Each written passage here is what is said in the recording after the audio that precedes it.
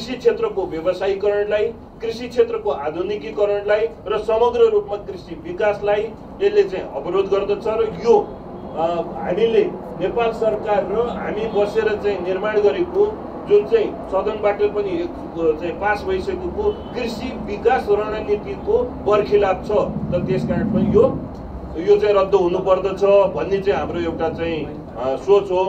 उद्योग मन्त्रालयबाट अर्को बाटो थोरली एडिएसलाई बाइपास गरेर यो किसान मार्ने जुन मल्टिनेसनल कम्पनीहरूलाई बहुराष्ट्रिय ठुलो ठुलो कम्पनीहरूलाई भित्राउने जुन परिकल्पना गरिएको छ यो साना साना किसानहरू सबै पलायन हुनेछन् र विदेशीहरूको यहाँ किराथल हुनेछ। यो विधेयक पारित नगर्नको निमित्त यदि तपाईँहरू यो विधेयक पारित गर्न जानुभयो भने अनायस भुलवश यदि तपाईँहरूले यो गर्नुभयो हिजो र यसलाई सच्याउने तपाईँहरूले कुनै पनि आफ्नो कारवाहीहरूलाई अगाडि बढाउनु भएन र त्यसलाई सदनबाट पारित गरेर अगाडि बढ्नु। जानुभयो भने नेपाली किसानहरूको तपाईँहरू छोराछोरी होइन।